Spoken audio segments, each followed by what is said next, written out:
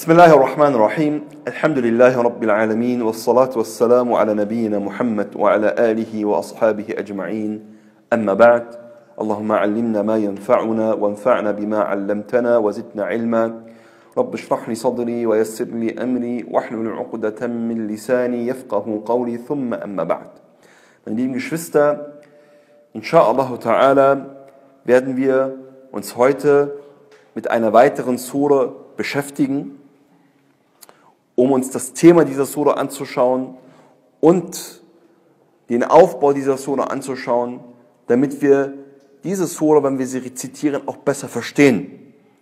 Und damit wir auch die Lehren aus dieser Sura entnehmen können für uns, in unserem Alltag, in unserem Leben. Und die Sura, mit der wir uns heute beschäftigen werden, ist die Sura Nummer 100 von den Sur des Koran. Eine Sura, über die ich mir schon häufig Gedanken gemacht habe, aber die ich nie so richtig wirklich verstanden habe. Und dadurch, dass ich mich jetzt näher mit ihr beschäftigt habe, Alhamdulillah, auch sie um einiges besser verstanden habe, auch wenn sie noch sehr, sehr viele Geheimnisse beinhaltet. Es handelt sich um Surat Al-Adiyat, welche wir wie immer zunächst erst einmal vorrezitieren werden. أعوذ بالله من الشيطان الرجيم. بسم الله الرحمن الرحيم. والعاديات ضبحا فالموريات قدحا فالمغيرات صبحا فأثرن به نقعا. فوسطن به جمعا. إن الإنسان لربه لكنود. وإنه على ذلك لشهيد. وإنه لحب الخير لشديد. أفلا يعلم إذا بعثر ما في القبور وحصل ما في الصدور إن ربهم بهم يومئذ لخبير Bei den schnaubend Rennenden, den mit ihren Hufen Funken schlagenden, den am Morgen Angreifenden, die darin Staub aufwirbeln, die dann mitten in die Ansammlung eindringen. Der Mensch ist seinem Herrn gegenüber wahrlich undankbar. Und er selbst ist darüber wahrlich Zeuge. Und er ist in seiner Liebe zum eigenen Besten wahrlich heftig. Weiß er denn nicht, wenn durchwühlt wird, was in den Gräbern ist und herausgeholt wird, was in den Brüsten ist? Ihr Herr wird an jenem Tag ihrer wahrlich kundig sein. Surat al-Adiyat. Elf Verse. Elf Verse, welche bekannt sind unter dem Namen Al-Adiyat. Das ist der einzige Name, unter dem diese Sura bekannt ist. Surat Al-Adiyat. Es gibt unter den muslimischen Gelehrten unterschiedliche Meinungen darüber, wann diese Sura konkret offenbart wurde. Das heißt, handelt es sich hierbei um eine mekkanische Sura, welche in der Zeit von Mekka offenbart wurde, oder handelt es sich bei ihr um eine medinische oder medinensische Sura, das heißt, dass sie nach der Hijra offenbart wurde. Ein Großteil der Gelehrten geht davon aus, dass es sich hierbei um eine mekkanische Sura handelt, weil der Aufbau der Sura, die Sprache der Sura und auch das Thema, welches in dieser Sura behandelt wird, darauf hindeutet, dass diese Sura in der Zeit von Mekka, das heißt in der Entstehungszeit des Islam, offenbart wurde. Wer diese Meinung vertritt, sind beispielsweise Abdullah ibn Mas'ud, Ata, Al-Hassan, Ikrima und einige andere, welche ebenfalls diese Meinung vertreten. Es gibt jedoch auch die Meinung, dass es sich hierbei um eine medinensische Sura handelt. Wie kommen diese Gelehrten darauf? Und zwar schützen sie sich hierbei auf eine Überlieferung, die aber nicht ganz authentisch ist, wie es viele Gelehrte gesagt haben, dass nämlich der Prophet sallallahu alaihi wasallam eine sogenannte Seriya schickte. Was ist eine Seriya? Das heißt, einen Trupp schickte, der eine bestimmte Aufgabe hatte. Und immer wenn wir von einer Serie sprechen, dann meinen wir damit eine Schlacht oder eine Unternehmung, also eine kriegerische Unternehmung, an der unser Prophet sallallahu alaihi wasallam nicht teilgenommen hat. Ich glaube, wir haben das schon einmal erwähnt gehabt. Und wie nennen wir eine Schlacht oder eine Unternehmung, selbst wenn es nicht zum Kampf gekommen ist, an der der Prophet sallallahu alaihi wasallam teilgenommen hat? Ghazwa. Also immer wenn ihr das Wort Ghazwa hört, dann wisst ihr, okay, an dieser Schlacht oder an dieser Unternehmung musste der Prophet sallallahu alaihi wasallam beteiligt gewesen sein. Und immer wenn ihr das Wort Zariya hört, dann wisst ihr, gut, es handelt sich hierbei um eine kriegerische Unternehmung, an der unser Prophet sallallahu alaihi wasallam nicht persönlich teilgenommen hat. Und der Prophet sallallahu alaihi wasallam, wie es überliefert wird, schickte eine Zariya, welche sich um einen Monat verspätete, und sie keine Nachrichten über sie hatten. Woraufhin der Prophet sallallahu alaihi wasallam, wie es in dieser Überlieferung heißt, sich Sorgen machte und traurig wurde und Allah subhanahu wa ta'ala dann diese Sura herabgesandt haben sozusagen soll. Diese Überlieferung ist nach vielen Gelehrten nicht ganz authentisch, wie es bei vielen der Überlieferungen der Fall ist, in denen es um die sogenannten Asbab al-Nuzul geht. Asbab al-Nuzul sind sogenannte Offenbarungsanlässe. Wörtlich übersetzt, Anlässe der Herabsendung eines Verses. Und es gibt Werke, die sich darauf spezialisiert haben. Es gibt ein bekanntes Werk von Imam As-Suyuti, das ist eines der bekanntesten Werke in diesem Zusammenhang. Das heißt Asbab al-Nuzul, Lubab al-Nuqul fi Asbab al-Nuzul. Und das beschäftigt sich mit was? Das beschäftigt sich mit den jeweiligen Offenbarungsanlässen. Muss jeder Vers einen Offenbarungsanlass gehabt haben? Nein. Und deswegen sagt auch Imam As-Suyuti in einem anderen Werk von seinen bekannten Werken, nämlich Al-Itqan fi Ulum al-Quran. Das ist eines der Standardwerke in der Koranwissenschaft oder in den Koranwissenschaften. Sagt er, dass der Koran sich hinsichtlich der Offenbarungsanlässe in zwei Teile unterteilt, grob gesehen. Einmal in Verse, die einen Offenbarungsanlass haben und einmal in Verse, die keinen haben. Also manazala ibtida'an, sagt man auf Arabisch. Manazala ibtida'an, was direkt herabgesandt worden ist oder worüber wir einfach nicht wissen, ob es einen Offenbarungsanlass gibt oder nicht, weil einfach in dieser Hinsicht nichts überliefert wurde. Und dieser Offenbarungsanlass wird nach vielen Gelehrten als nicht authentisch eingestuft, aber trotz alledem gehen einige Gelehrte davon aus, wie Abdullah ibn Abbas und Qatada und auch einige unter den zeitgenössischen Gelehrten, die schon mittlerweile verstorben sind, wie beispielsweise At-Tahir ibn Ashur, der einen ganz, ganz bekannten Tafsir geschrieben hat. Kennt jemand den Tafsir von At-Tahir ibn Ashur, dem tunesischen Großgelehrten? Ist schon verstorben. Tahrir wa Tanwir. Das ist ein wirklich exzellentes Tafsir, ein exzellenter Koran-Kommentar.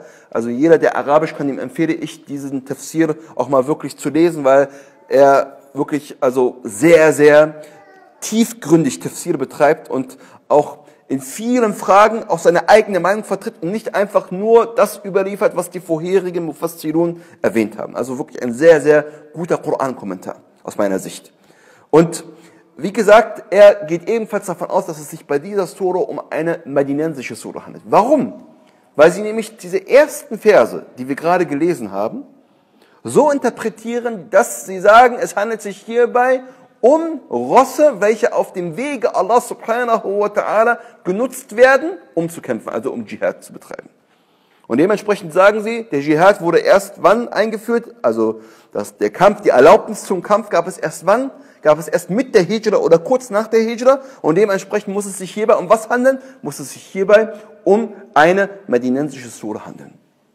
Ich persönlich tendiere eher dazu, dass es eine mekkanische Sura ist. Das werde ich auch gleich erklären, warum, inshallah. Mich überzeugt diese Meinung mehr. Ja, aber das, wie gesagt, da gibt es halt unterschiedliche Meinungen unter den muslimischen Koran-Kommentatoren. Kommen wir jetzt zu der Struktur der Sura. Da sehen wir, dass sich diese Sura in drei Hauptteile unterteilen lässt. Wir haben einmal eine Art Einleitung zur Sura, die nämlich aus einem Schwur besteht, also nicht nur aus einem Schwur, sondern aus mehreren Schwüren, wo Allah subhanahu wa ta'ala bei rennenden und schnaubenden Tieren schwört. Welche das sind, das werden wir gleich noch sehen, inshallah. Und das geht dann genau fünf Verse. Und dann spricht Allah subhanahu wa ta'ala plötzlich über den Menschen in drei Versen, indem er nämlich sagt, Innal insana li rabbihi lakanut, der Mensch ist gegenüber seinem Herrn, kann man übersetzen, undankbar. Ja, das sind dann drei Verse. Und dann springt die Sura dann vom diesseitigen Leben zum jenseitigen Leben und spricht über das, was mit dem Menschen geschehen wird, wenn er am jüngsten Tag auferstehen wird. أَفَلَا يَعْلَمُ إِذَا بُعْثِرَ مَا فِي الْقُبُورِ Bis zum Ende der Sura. Weiß also nicht, was geschieht, wenn das sozusagen entnommen wird aus den Gräbern, ja, wenn die Zeit gekommen ist, wo das entnommen wird aus den Gräbern, ja, also sozusagen, wo die Dinge aus den Gräbern entnommen werden, bis zum Ende der Sura. Das ist erstmal der Aufbau der Sura. Allah subhanahu wa ta'ala, er schwört bei etwas und dann geht er auf den Menschen über und beschreibt den Menschen, wie er beschaffen ist und wie er sich verhält. Und dann am Ende zeigt er uns auf, wie der Mensch enden wird und was aus ihm werden wird. Um uns auch einmal aufzuzeigen, wie der Mensch im diesseitigen Leben ist und wie er dann vor Allah subhanahu wa ta'ala im jenseitigen Leben stehen wird.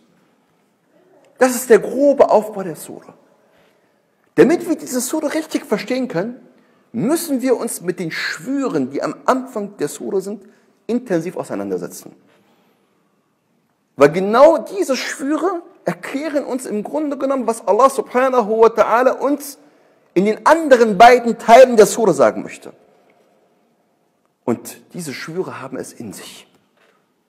Zunächst erst einmal mag man sich fragen, was soll das mit diesen ganzen Rossen und dem Schnauben und weiß ich nicht, den, äh, äh, keine Ahnung, den, die Funken äh, dann hervorrufen, wenn sie rennen. Was, soll das überhaupt? Was hat das bitte schön mit all dem zu tun? Warum schwört Allah subhanahu wa ta'ala dabei? Das ist es, womit wir uns jetzt beschäftigen wollen, inshallah ta'ala. Und zwar beginnt Allah subhanahu wa ta'ala mit folgendem Vers. Und zwar, Allah subhanahu wa ta'ala, er beginnt mit den schnaubenden Rossen. وَالْعَادِيَاتِ ضَبْحًا Das ist hier gerade ein bisschen, kleinen Moment, so, das habe ich gleich. Adiyat. Übersetzt hier bei den schnaubenden, rennenden. Ich habe schon Rossen gesagt, wie es einige interpretiert haben. Was ist ein Al-Adiyat? Al-Adiyat kommt von Al-Adu. Was bedeutet das? Al-Adu. Etwas, was sich beeilt. Etwas, was rennt. Und deswegen kann das bezogen sein auf was? Es kann bezogen sein auf einen Menschen. Al-Adda'un sind diejenigen, die rennen. Ja? Es kann aber auch bezogen sein auf irgendein Tier, egal welches Tier das ist. Allah subhanahu wa ta'ala, er schwört hier bei irgendeinem Lebewesen, was die ganze Zeit über rennt. Adiyat. Ja, Allah subhanahu wa ta'ala benutzt hier nicht das Verb, sondern er benutzt hier was? Er benutzt das Partizip aktiv. Das heißt, etwas, was die ganze Zeit womit beschäftigt ist? Mit dem Rennen. Und dann fügt Allah subhanahu wa ta'ala eine Eigenschaft hinzu, dass wir wissen, dass es sich nicht um irgendetwas handelt, was rennt, sondern dass es sich hierbei um etwas ganz Bestimmtes handelt. Um etwas, was insbesondere den Arabern zur damaligen Zeit sehr bekannt gewesen ist. Und was für sie auch sehr hohen Wert hatte. Es handelt sich nämlich um etwas, was schnaubt. Und was schnaubten? Bob. Es sind die Pferde. Pferde schnauben. Und was ist das Schnauben für eine Handlung? Das Schnauben ist sozusagen so, als würde ich ganz tief atmen, sodass ich dabei auch einen Laut von mir gebe. Und deswegen auch im Arabischen dieses Bob, ja, es ist ganz schwierig auszusprechen. Bobaha, ja, dieses Ah, ja, also etwas, was wirklich aus dem tiefsten Inneren kommt. So als will uns Allah subhanahu wa ta'ala sagen, diese Tiere, die rennen, die geben wirklich alles an Kraft, was sie haben. Und sie geben sich Mühe und sie strengen sich an.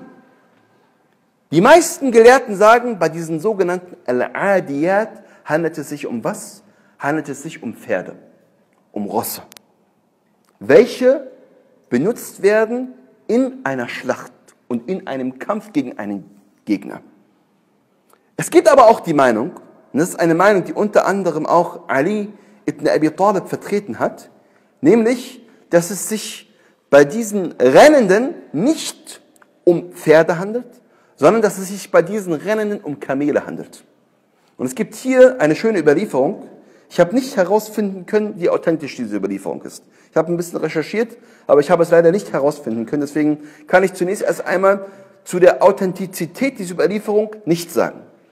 Aber diese Überlieferung ist sehr interessant, weil es sich nämlich hierbei um eine Auseinandersetzung oder besser gesagt um eine Diskussion zwischen Ali ibn Abi Talib und zwischen Abdullah ibn Abbas handelt.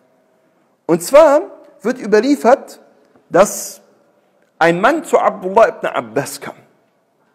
Und er fragte ihn, was eigentlich gemeint sei mit diesen Wal'adiyati Dabaha. Woraufhin er sagte, damit sind die Pferde gemeint, Al-Khayl, die auf dem Wege Allah subhanahu wa ta'ala in einer Schlacht verwendet werden. Dieser Mann, er ging dann zu Ali ibn Abi Talib und er erzählte ihm, was Abdullah ibn Abbas zu ihm sagte. Woraufhin Ali ibn Abi Talib Abdullah ibn Abbas, als er ihn traf, daraufhin ansprach. Und er sagte zu ihm, hast du diesem Mann gesagt, dass es sich bei den Adiyat um Pferde handelt? Woraufhin er sagte, ja. Er sagte, das ist nicht richtig. Gibst du etwa eine Fatwa ohne Wissen zu haben? Gibst du etwa eine Fatwa ohne Wissen zu haben?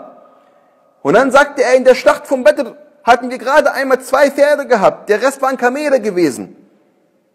Mit den Adiyat ist was gemeint? Sind die Kamele gemeint.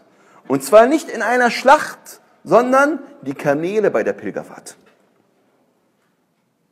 Woraufhin Abdullah ibn Abbas, wie es aus dieser Überlieferung hervorgeht, seine Meinung zurückgenommen hat und sich Ali ibn Abi Talib angeschlossen haben soll.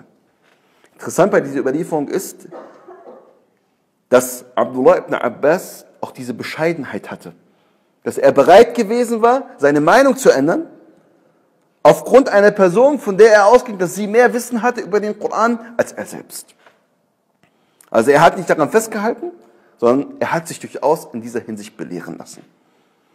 Und er hat ihm es auch nicht übel genommen, dass er ihn so angefahren hat, wie kannst du etwas über den Koran sagen, über, darüber Wissen zu haben, sondern er hat es einfach akzeptiert. Und er hat Ali ibn Abi Talib, der auch durchaus älter gewesen war als er, in dieser Hinsicht als seinen Lehrer angenommen. Was ist denn aber dann sozusagen mit den Kamelen gemeint? Mit den Kamelen ist gemeint in diesem Zusammenhang, dass Allah subhanahu wa ta'ala schwört bei den Kamelen, welche bei der Pilgerfahrt benutzt werden, in den verschiedenen Stationen der Pilgerfahrt, wie wir gleich noch sehen werden, wie Idnillahi Azza wa Gut. Allah subhanahu wa ta'ala, er schwört also zunächst erst einmal bei den rennenden, schnaubenden den Schnauben trennenden. Und dann sagt Allah subhanahu wa ta'ala, فَالْمُورِيَاتِ قَدَحًا Was ist dieses Muriyat? Muriyat bedeutet, dass sie Funken schlagen. Und genau das ist ja auch der Fall bei Pferden. Wenn ein Pferd galoppiert oder ein Pferd schnell rennt, dann schlägt es mit seinen Hufen auf den harten Boden. Und was entsteht dann, wenn das Pferd mit seinen Hufen auf den harten Boden schlägt? Es entstehen Funken. Und wann sieht man diese Funken am allerbesten? In der Nacht. Und deswegen sagen auch viele Gelehrte, dass mit diesem Falmuriyati Qadaha was gemeint ist, dass die Pferde, die rennen und die schnauben, dann in der Nacht rennen und mit ihren Hufen auf den harten Boden schlagen, so dass Funken entstehen, die man dann auch sehen kann. Also Allah subhanahu wa ta'ala, er schwört jetzt bei den Pferden, die rennen und dabei schnauben und die beim Rennen mit ihren Füßen, mit ihren Hufen auf den Boden schlagen und dabei Funken schlagen, so dass man diese Funken auch wirklich sehen kann. Und dann sagt Allah subhanahu wa ta'ala, فَالْمُغِيرَاتِ subha, den am Morgen angreifenden. Allah subhanahu wa ta'ala, er zeigt jetzt auf, dass diese Pferde genutzt werden, um am Morgen dann den Feind anzugreifen. Warum am Morgen? Was ist der Grund, dass Allah Ta'ala sagt am Morgen? Weil in der Regel, und das war die Praxis der Araber gewesen, in der Regel haben die Stämme, die anderen Stämme immer zu einer Zeit angegriffen, wo sie noch etwas sehen konnten, gerade so, aber wo gleichzeitig der Feind unaufmerksam gewesen ist. Und wann ist das gewesen in der Regel? Die beste Zeit ist bei der Morgendämmerung. Da kann man schon ein wenig etwas sehen, aber der Feind, er ist noch am Schlafen, er ist noch nicht ganz wach oder er steht erst gerade auf, hat vielleicht ein paar Wachen aufgestellt, aber ist nicht wirklich bei sich. Und dementsprechend, Allah subhanahu wa ta'ala, er zeigt uns auf hier, welche Zeit die geeignetste war, die damals die Araber benutzt haben, damit ein Stamm den anderen angreift. Und ich sage extra die Araber und nicht die Muslime. Warum? Weil wenn wir nämlich davon ausgehen, dass es sich um eine mekkanische Sura handelt, dann ist hier was mit beschrieben? Das beschrieben, was damals gängig gewesen war unter den Arabern. Also nicht unbedingt unter den Muslimen, sondern unter den Arabern, weil nämlich Allah subhanahu wa ta'ala hier wen anspricht. Er spricht ja im Grunde genommen nicht nur die Muslime an, sondern er spricht ja auch mit dieser Sura die Mushrikun an. Also er schwört bei den Dingen, die die Araber kannten, damit ihre Aufmerksamkeit zunächst erst einmal auf den Koran gelenkt wird. Was hat es jetzt auf sich mit diesem Schwur?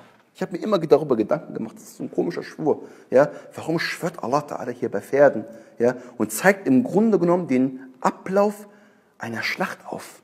Was soll uns das bringen? Und was hat das bitte schön mit dem zu tun, was danach kommt? Und hierin liegen sehr, sehr viele Geheimnisse, meine lieben Geschwister im Islam.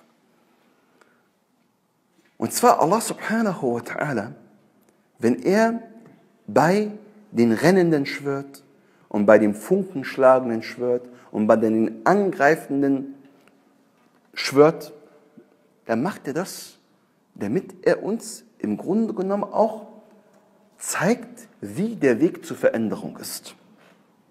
Allah Ta'ala, er möchte uns mit diesen Dingen, bei denen er schwört, einmal zeigen, wie der Weg zur Veränderung ist.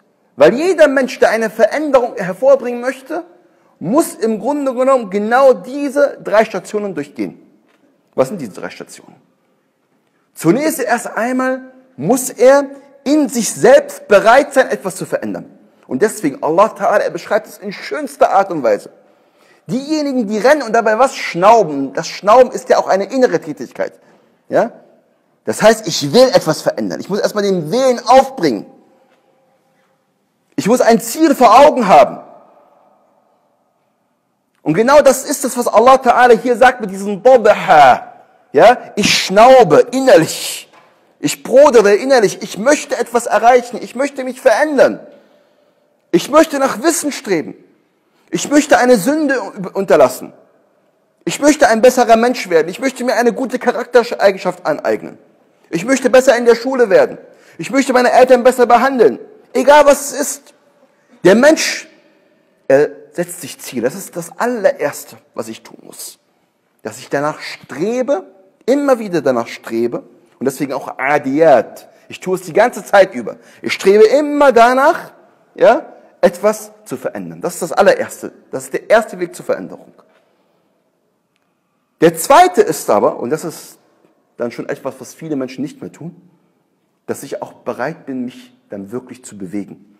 Und bereit bin, auch die Strapazen auf diesem Weg in Kauf zu nehmen. Und deswegen, Allah Ta'ala beschreibt es in sehr, sehr schöner Weise, indem er nämlich sagt, Er zeigt uns regelrecht auf, wie dieser Aufprall von Huf und Stein ist. Es kommt zu Funken. Das heißt, es kommt zu einer Interaktion. Es kommt zu einer Anstrengung. Es kommt zu einem innerlichen Kampf. Ich muss Geduld aufbringen. Ich muss über meinen eigenen Schatten springen. Das Problem ist, viele von uns, sie wünschen sich etwas, aber sind nicht wirklich bereit, dafür etwas zu tun. Und sind auch nicht bereit, diese Strapazen in Kauf zu nehmen. Und dementsprechend hören sie bei dem ersten Hindernis auf. Sie setzen sich große Ziele, aber sind nicht bereit, wirklich für diese Ziele auch Strapazen in Kauf zu nehmen. Und das funktioniert nicht. Und dementsprechend sagt unser Prophet sallallahu alaihi wasallam, wir kennen den Hadith, Al-Kayyis man nafsahu wa lima ba'd al-Maut. Der Kluge ist derjenige, der sich selbst zur Rechenschaft zieht und darauf hinarbeitet, was nach dem Tod ist.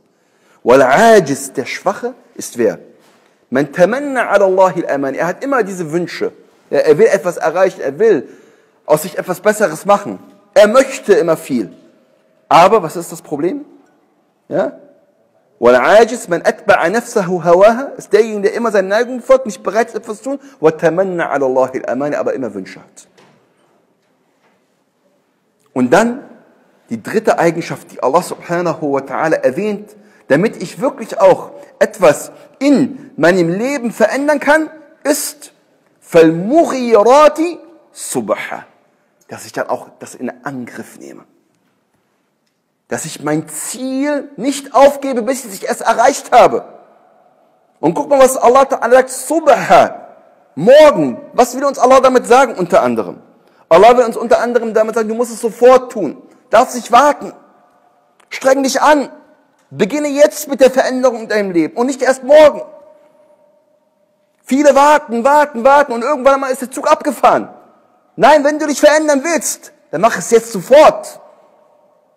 Und warte nicht auf den Nachmittag, weil am Nachmittag wirst du höchstwahrscheinlich deinen Feind nicht mehr besiegen können. Umso älter du wirst, desto stärker wird der Nefs. Im Arabischen sagt man, man shabba ala shay'in shaba ali. Wer mit etwas groß geworden ist, der wird auch so alt werden. Oder? Und deswegen versucht man einem alten Menschen irgendeine schlechte Eigenschaft wieder abzugewöhnen. Das ist fast unmöglich. Warum? Der hat sich sein Leben lang daran gewöhnt, der macht das immer so. Jemand, der immer mit links gegessen hat, den wirst du nicht mehr umerziehen können, wenn er schon 80 Jahre alt ist oder 60 Jahre alt ist. Der wird auch weiterhin mit links essen. Aber ein kleines Kind, wenn du ihn angewöhnt hast, es mit rechts essen soll, selbst wenn es Linkshänder sein sollte, dann wird es mit rechts essen. Warum? Weil es noch jung ist. Und dementsprechend, meine lieben Geschwister im Islam, Allah Ta'ala, er schwört hier bei diesen drei Dingen und er zeigt uns auch gleichzeitig was auf? Er zeigt uns auch gleichzeitig den Weg zur Veränderung auf. Und Allah sagt, ihr müsst immer so sein, immer in diesem Zustand sein. Und wenn ihr so seid, was wird dann sein? Jetzt kommt es. Jetzt plötzlich nicht mehr partizip aktiv, also im Sinne von eine stetige Eigenschaft, sondern jetzt kommt plötzlich das Ergebnis. Was ist das Ergebnis? Was heißt dieses فَأَثَرْنَ بِهِ نَقْعَ? Allah Ta'ala, er zeigt jetzt auf, was diese Eigenschaften jetzt auch wirklich bewirken können. Ja? Wenn ein Pferd ja, schnaubt, seine gesamte Energie gibt und dann dem Feind am Morgen zu der richtigen Zeit angreift, was geschieht dann? Dann wird der Staub aufgewirbelt. Die darin Staub aufwirbeln. Du wirst etwas verändern. Du wirst nicht nur dich selbst verändern können, du wirst sogar deine Umgebung verändern können. Wenn du bereit bist, diese Eigenschaften zu verinnerlichen, über die wir gerade gesprochen haben. Der Staub wird aufgewirbelt und die, merken, die Menschen merken, Da gibt es eine Veränderung. Da kommt etwas auf mich zu. Genauso wie in einem Kampf.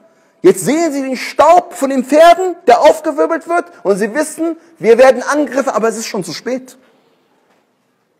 Und dann فَوَسَطُنَا bihi جَمْعَهَا die dann mitten in die Ansammlung eindringen. Du bist da mittendrin. Du kannst etwas verändern. Also Allah subhanahu wa ta'ala, meine lieben Geschwister im Islam, er zeigt uns unter anderem mit diesem Schwur was auf? Er zeigt uns unter anderem auf, wie wir als Menschen wirklich etwas bewirken können. In uns selbst und in der Gesellschaft. Aber nicht nur das. Sondern Allah subhanahu wa ta'ala, er zeigt uns mit diesem Schwur noch etwas anderes auf.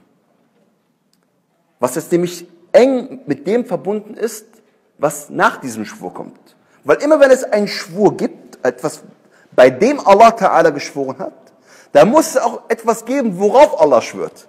Und das, worauf Allah schwört, muss ja in irgendeiner Weise in Zusammenhang stehen mit dem, bei dem Allah subhanahu wa ta'ala geschworen hat. Worauf schwört jetzt Allah subhanahu wa ta'ala? Allah ta'ala, er schwört jetzt auf den Menschen. Den Menschen im Allgemeinen. Innal insana li rabbihi lakanud. Der Mensch ist seinem Herrn gegenüber wahrlich Kanud. Ich benutze mal das Wort Kanud. Allah Ta'ala, er schwört jetzt auf den Menschen, dass er Kanud ist. Was bedeutet denn Kanud? Kanud wird von den meisten Koran-Interpreten, Kommentatoren als was übersetzt? Als Kafur. Kafur heißt was? Undankbar. Und da gibt es ganz verschiedene Interpretationen, die alle genau auf diese Eigenschaft der Undankbarkeit hindeuten. Das heißt, dem Menschen wird Gutes gegeben, aber er sieht immer nur das Schlechte. Hm? Undankbarkeit. Hm? Aber Kenut ist mehr als Undankbarkeit. Kenut bedeutet auch, dass sich eine Sache einer anderen Sache nicht richtig anpasst. Also etwas, was uneben ist. Etwas, was uneben ist, ist auch Kenut. Also dass eine Sache sich einer anderen Sache nicht anpasst. Was hat es jetzt mit diesem Schwur davor zu tun? Sehr, sehr viel. Und zwar, Allah Ta'ala, er schwört hier bei den Pferden. Aber wer lenkt denn die Pferde? Sind es die Pferde selbst, die einen, eine Armee angreifen? Wer, lenkt, wer, ist, wer ist denn auf dem Pferd? Der Mensch, oder? Das heißt, derjenige, der diese Pferde lenkt, und der überhaupt dafür sorgt, dass die Pferde einem Feind angreifen, ist der Mensch, der auf ihnen sitzt. Also, Rabbu al-Khayl. Der Herr des Pferdes, wie man so schon auf Arabisch sagt. Und jetzt, nachdem Allah Ta'ala uns hier ein Gleichnis gegeben hat von dem Herrn eines Pferdes, spricht jetzt Allah Subhanahu wa Ta'ala plötzlich über sein Verhältnis zum Menschen und wie der Mensch gegenüber seinem eigenen Herrn ist. Guck mal, das Pferd. Dem Pferd gibst du gerade mal einen Stall, nicht mehr. Du gibst ihm ein wenig Futter. Vielleicht behandelst du das Pferd nicht einmal gut. Und trotz alledem ist das Pferd bereit, sein Leben zu opfern für deine Angelegenheit. Und macht alles mit dir. Ja, das Pferd ist sogar bereit, mit dir mitten in den Tod zu reiten. Nur weil du die Zügel in der Hand hältst. Und jetzt kommt der Mensch. Allah subhanahu wa ta'ala, er hat ihm alles gegeben. Allah subhanahu wa ta'ala, er hat ihn überhäuft mit Gnaden. وَإِن تَعُدُّوا نِعْمَةَ اللَّهِ لَا تُحْصُوهَا Und wenn ihr die Gnaden eures Herrn aufzählen würdet, ihr könntet sie nicht erfassen. أَلَمْ نَجْعَلْ لَهُ عَيْنَيْنِ وَلِسَانًا وَشَفَتَيْنِ وَهَدَيْنَاهُ النَّجْدَيْنِ Haben wir ihm nicht zwei Augen gegeben und eine Zunge und zwei Lippen. Allah Ta'ala, er hat dir alles gegeben. Und trotz alledem bist du nicht bereit, dich deinem Schöpfer anzupassen. Bist du nicht bereit, dich deinem Herrn anzupassen und das zu tun, was dein Herr von dir verlangt. Ja, Allah Ta'ala verlangt von dir nicht einmal das, was der Herr eines Pferdes, der Besitzer eines Pferdes von seinem Pferd verlangt. Allah subhanahu wa ta'ala, er verlangt von dir nicht, dass du mitten in den Tod reitest, Sondern Allah subhanahu wa ta'ala, wenn er dir etwas gebietet, will er damit nur das Beste für dich. Und trotz alledem bist du nicht bereit, dich zu fügen. Bist du nicht bereit, das zu tun, was Allah subhanahu wa ta'ala von dir verlangt hat. Guck mal, der Unterschied. Ja? Hier gibt uns Allah ta'ala das Beispiel von einem Pferd, das bereit ist, alles für seinen Herrn zu tun. Und dann zeigt uns Allah ta'ala auf, wie wir, die wir alles bekommen haben von unserem Herrn, gegenüber unserem Herrn sind, nämlich undankbar. Er gibt uns Gutes, wir lassen nur Schlechtes aufsteigen. Und deswegen sagt Allah subhanahu wa ta'ala jetzt was? Allah ta'ala, er sagt, Innal insana li rabbihi lakanut wa innahu ala dhalika lashahid. Und er bezeugt dies auch. Er weiß dass der Mensch. Das heißt, es ist nicht so, dass der Mensch das nicht weiß, dass er undankbar ist. Der Mensch, er wird das selbst bezeugen im jenseitigen Leben, aber er weiß es auch im diesseitigen Leben. Insbesondere dann, wenn es um andere Menschen geht, ist der Mensch häufig sehr, sehr schnell im Urteil über diesen anderen Menschen, dass es sich hierbei um einen undankbaren Menschen handelt, wie es die Gelehrten sagen. Das heißt, der Mensch, er gesteht sich auch selbst ein, dass er eigentlich jemand ist, der nicht so ist, wie es Allah subhanahu wa ta'ala von ihm verlangt hat. وَإِنَّهُ عَلَى ذَلِكَ لَشَهِيد. Manche Gelehrte sagen mit innahu, dass dieses Ha und er, ja, dass sich auf Allah bezieht, dass Allah subhanahu wa ta'ala dies bezeugen wird. Und Allah bezeugt, dass er undankbar ist. Das kann natürlich auch sein. Beides ist im Grunde genommen möglich. Dass Allah das bezeugt oder dass der Mensch das selbst bezeugt. وَإِنَّهُ عَلَى ذَلِكَ لَشَهِيد وَإِنَّهُ لِحُبِّ الْخَيْرِ لَشَدِيد und er ist, was die Liebe zum Guten betrifft, sehr, sehr stark. Also die Liebe zum Guten ist sehr stark ausgeprägt. Und hier, und er ist in seiner Liebe zum eigenen Besten, so wird es hier überliefert, wahrlich heftig. Was ist da mit dem Khair gemeint? Hier. Was ist damit gemeint, meine lieben Geschwister? Was würdet ihr sagen, was sagen die Gelehrten über Khair? Was ist mit Khair gemeint? Ja. Sein eigener Besitz? Ja, sein eigener Besitz, ja. Richtig korrekt. Die meisten Gelehrten sagen, damit ist einfach Al-Mal gemeint.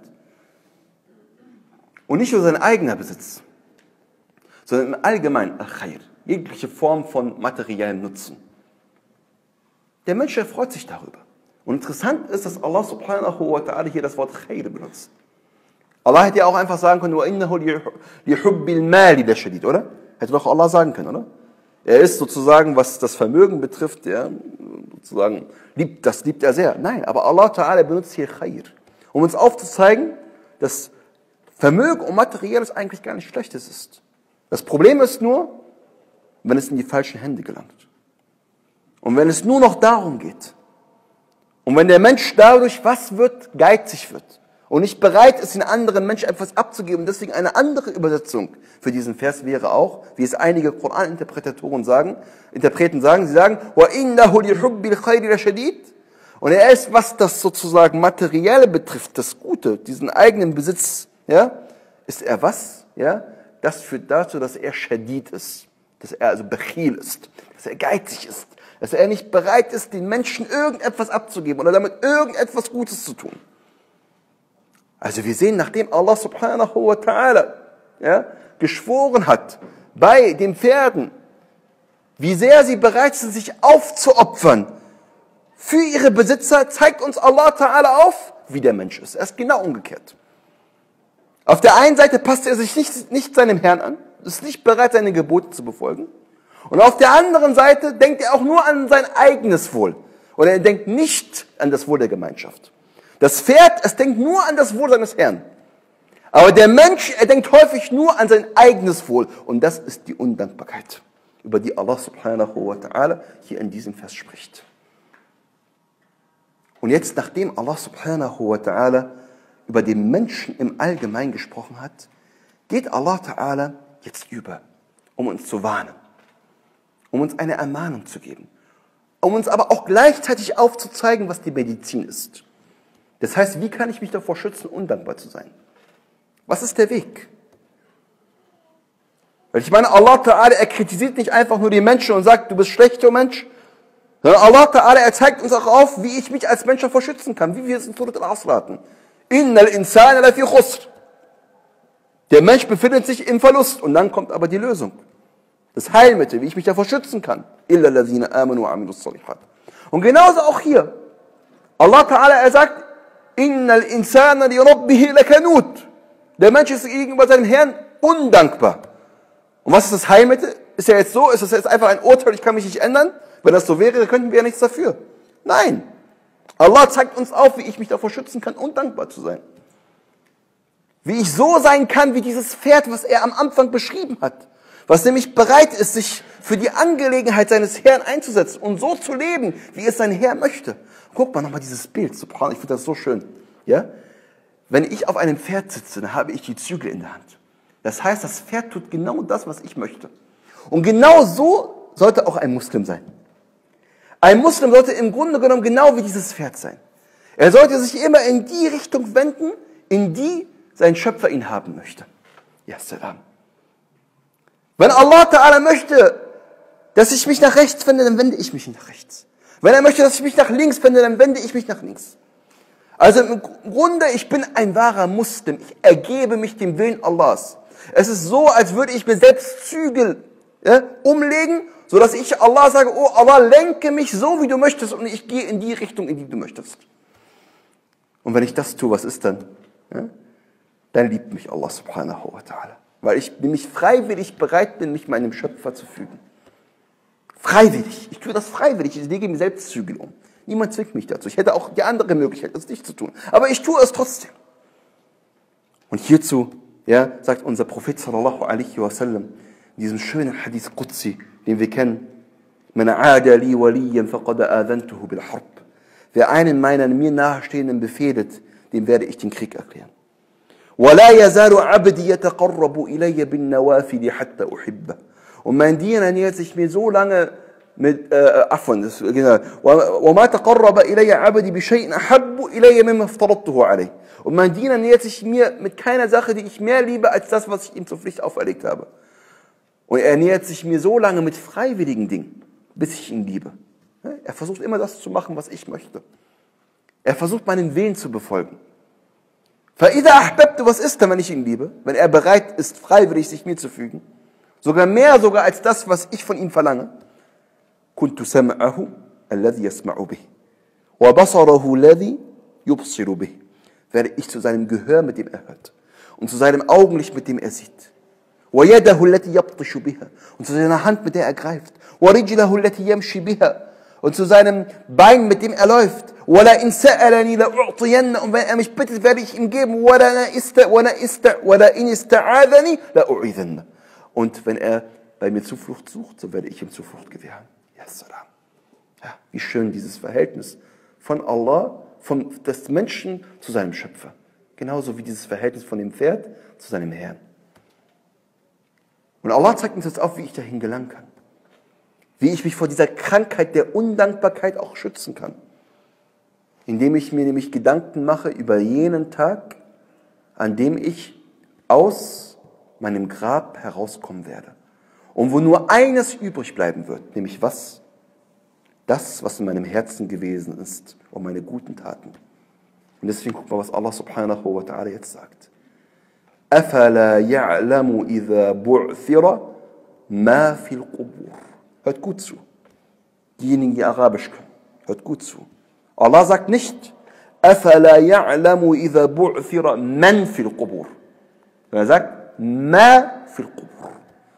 Weiß er denn nicht, wenn durchwühlt wird, was in den Gräbern ist? Dieses Ma ist was anderes als Men. Was ist der Unterschied zwischen Ma und Men? Die Araber.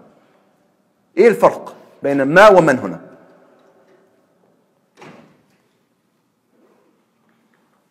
sprachlich لغويا ايه الفرق بين ما ومن ja ja بارك الله فيك من ist auf Person bezogen ma ist auf Gegenstände und Person bezogen. Warum sagt Allah subhanahu wa ta'ala hier ma? Ma fil qubur ich meine es geht auch um die Person.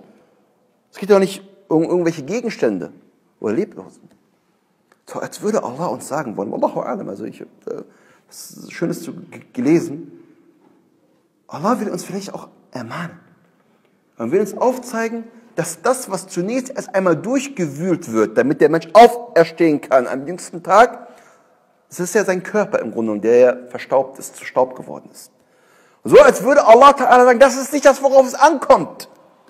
Das ist wie etwas, was leblos ist, was keinen Nutzen hat. Dein Körper, das ist nicht das, wonach du bewertet wirst. Sondern wonach wirst du bewertet? Und herausgeholt wird, was in den Brüsten ist. Das, was in deinem Herzen war. Deine Taten, deine Absichten, das ist das, wonach dich Allah Ta'ala am jüngsten Tag bewerten wird. Nicht nach den Äußerlichkeiten. Nicht nach dem Materiellen. Hä? Hubbil Khair, immer nur das Äußere, Materielle. Nein, das, worauf es ankommt, sind deine guten Taten, die du mitnehmen wirst in dein Grab. Die ganzen materiellen Dinge, die wirst du draußen lassen. Die wirst du in dieser Dunja lassen, die wirst du zurücklassen, wie es der Prophet sallallahu alaihi wasallam gesagt hat. Drei Dinge folgen dem Toten, zwei bleiben zurück, eins kommt mit ins Grab. Die Familie und das Vermögen bleibt zurück. Und das, was du mit runternimmst, sind genau das, was hier war, deine guten Taten. Das wirst du mit runternehmen in dein Grab. Und dementsprechend, so als würde Allah uns sagen wollen, ja, das wird durchwühlt. Aber das, worauf es ankommt, ist was? Sind die guten Taten. Inna Allah la yanzuru ila suwarikum wa la ila ajsamikum. Allah schaut nicht auf eure äußeren Gestalten, auf eure Körper, wie ihr ausgesehen habt, wie reich ihr, wie schön ihr, wie bekannt ihr gewesen seid, wie groß eure Häuser waren, was für ein tolles Auto ihr gefahren seid, völlig egal. Darauf kommt es überhaupt nicht an. Sondern er schaut auf was? وَلَكِنْ يَنْظُرُ إِلَى قُلُوبِكُمْ وَأَعْمَالِكُمْ Sondern er schaut in eure Herzen und auf eure Taten. Und demnach, Allah Ta'ala ergibt uns hier die Lösung. Und er zeigt uns, worauf wir uns konzentrieren sollten im diesseitigen Leben. Nicht auf diese ganzen materiellen Dinge, sondern wir wollten uns auf das Gute konzentrieren. Und genau das ist es, was Allah von uns will. Er will nicht, dass wir auf das Gute gänzlich verzichten, auf das Materielle voll und ganz verzichten, sondern Allah will nur, dass wir es im Richtigen nutzen, so wie er es von uns verlangt hat, nämlich für das Gute. Und dann sagt Allah subhanahu wa ta'ala, Inna rabbahum bihim yawma khabir. Ihr Herr wird an jenem Tag ihrer wahrlich kundig sein. Er wird die Menschen zur Rechenschaft ziehen. Somit schließt Allah subhanahu wa ta'ala diese Surah ab. Er zeigt uns noch einmal auf, worauf es ankommt und dass wir am jüngsten Tag vor unserem Schöpfer stehen werden. Und genau das ist die Medizin, wie es auch unser Prophet sallallahu alaihi wasallam in etlichen Überlieferungen und auch der Koran in etlichen Versen aufgezeigt hat, dass wir uns mehr mit dem beschäftigen, was uns erwarten wird am jüngsten Tag. أكثر من ذكر هذه من لذات الموت. Gedenkt häufig des Zerstörers, der Gelüste des Todes. ألا قد نهيتكم عن نهيتكم عن زيارة القبور ألا فزوروها فإنها تذكركم الآخرة. Ich hatte euch verboten, Friedhöfe zu besuchen. So besucht sie jetzt, weil sie euch an das Jenseits erinnern. Allah Ta'ala er erinnert uns immer wieder daran. Unser Prophet sallallahu alaihi wasallam, er zeigt uns die Krankheit der Menschen auf. Ja, als er gesagt hat, يوشك أن تداعى عليكم الأمم كما تداعى الأكلة إلى قصعتها. Es wird eine Zeit kommen, die nicht mehr weit ist, wo sich die Völker auf euch stürzen werden, wie Hungrige auf eine Schüssel voller Essen. قالوا يا رسول الله أمن قلة نحن يومئذ يا رسول الله O Gesandter Allah, werden wir wenige sein an diesem Tag? قال بل أنتم كثير sehr viele seid, sehr, sehr viele. ولكنكم غثاء كغثاء السيل. Aber ihr seid wie was? Ihr seid wie Schaum auf dem Meer. Was kann man mit Schaum machen? Wird einfach so auseinander. Ist nicht beständig. Nichts. ولكنكم غثاء und was wird dann an jenem Tag geschehen? Das ist das, worauf es ankommt. Allah Ta'ala, er wird die Mahabe, den Respekt der Feinde uns gegenüber nehmen. Ja? Und er wird in eure Herzen was zu den Wahan. قالوا وما الوهن يا رسول الله Und er fragt, was ist dieser Wahan, o Gesandter Allahs?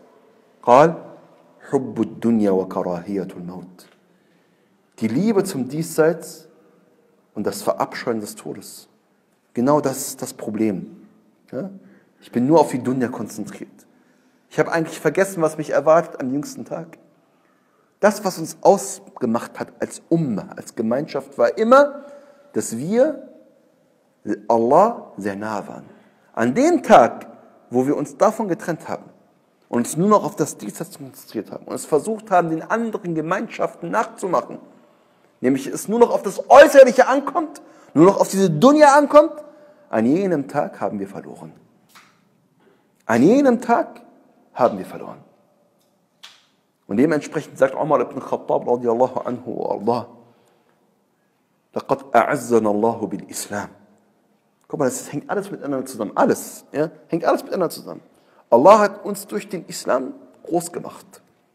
Ja, nicht, weil wir Araber sind, nicht, weil wir eine besonders große, weiß ich nicht, äh, Kultur hatten oder weiß ich was, besonders große äh, äh, Ge Gebäude errichten konnten. Nein, Allah bil Islam, der Islam war es gewesen, der aus uns etwas Besonderes gemacht hat. Und dann sagt Umar ibn Khattab, فإن ابتغينا العزة في غير الإسلام أذلنا الله. Und ab dem Tag, wo wir nach Stolz, nach Größe streben, in etwas anderem als dem Islam, also uns sozusagen von unserer ursprünglichen Botschaft, dass wir uns Allah ergeben, sondern dass wir eigentlich für unseren Glauben leben sollten. An jedem Tag geschieht, meine lieben Geschwister im Islam. Und das ist das größte Problem, was wir im Grunde genommen haben, dass die Dunya in unsere Herzen gelangt ist und wir uns von unserem eigentlichen Ziel entfernt haben, so wie es auch Allah subhanahu wa ta'ala in dieser schönen Surah, Surat al-Adiyat, beschreibt und dementsprechend schließt sie ab. Inna rabbahum bihim yawma idhin khabir. Ihr Herr ist kundig dessen, was sie tun. Also lasst uns mehr auf das konzentrieren, was nach unserem Tod kommen wird. Auf das wir gut handeln und auf das wir niemals dieses eigentliche Ziel aus den Augen verlieren. Möge Allah subhanahu wa ta'ala uns zu jenen gehören lassen, welche sich äh, welche dankbar sind gegenüber ihrem Schöpfer. Möge Allah subhanahu wa ta'ala uns zu jenen gehören lassen, welche versuchen sich zu verändern zum Guten, welche bereit sind dafür auch alle Herausforderungen in Kauf zu nehmen und welche so lange nach ihrem Ziel streben, bis sie ihr Ziel auch wirklich erreicht haben. Möge Allah Ta'ala uns zu jenen gehören lassen, welche in sich selbst etwas verändern zum Positiven und auch in der Gesellschaft etwas zum Positiven verändern. Möge Allah Subhanahu wa Ta'ala unsere Herzen immer erfüllt sein mit der Liebe zu ihm, mit der Liebe zum Gesandten Allah sallallahu alaihi wasallam. Möge Allah Ta'ala die Liebe zu Dunya aus unseren Herzen nehmen und unsere Herzen füllen mit der Liebe zu Allah und der Begegnung mit Allah. Möge Allah Ta'ala uns, uns immer auf das Jenseits konzentrieren lassen, ohne dass wir vergessen, dass wir im Diesseits etwas erreichen müssen. Möge Allah subhanahu wa ta'ala uns allen einen guten Charakter gewähren. Möge Allah subhanahu wa ta'ala uns zu Vorbildern machen für die Menschen. Möge Allah subhanahu wa ta'ala durch uns die Menschen zu seinem Weg führen. Möge Allah subhanahu wa ta'ala uns zu Leuchttürmen für die Menschen in dieser Gesellschaft werden lassen. Barakallahu fikum. آمين. وبارك الله فيكم. السلام عليكم ورحمة الله وبركاته.